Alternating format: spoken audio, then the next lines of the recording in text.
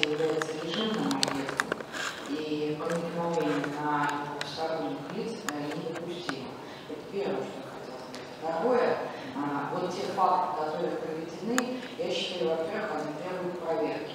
А в-третьих, вот сам способ а, разрешения ситуации, а, который выбрал а, Владимир Евгеньевич, ну, на мой взгляд, это не конструктивно.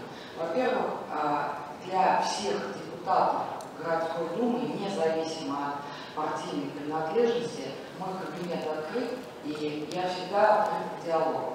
Далее, а, есть профильный заместитель мой, который курирует а, непосредственно данное предприятие. Никаких обращений ни в мой адрес, ни в адрес моего заместителя а, по какому-то депутатскому запросу тоже не поступало. Готовы вопросы разрешать, если существуют какие-то проблемы на данном предприятии, готовы организовать встречу с этими сотрудниками, но хочу отметить, что от сотрудников также не поступало никаких обращений.